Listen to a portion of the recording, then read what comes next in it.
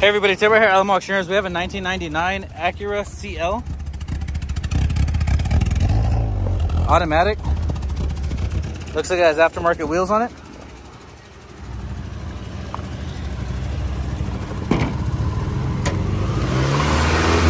Two point three liter four cylinder.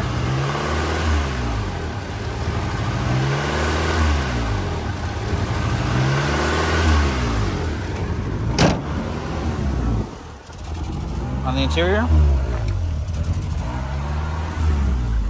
Gray cloth. Headliner looks good with sunroof. Automatic. Aftermarket JVC radio. Dash also looks clean. 132. Looks like maybe 802 on the mileage.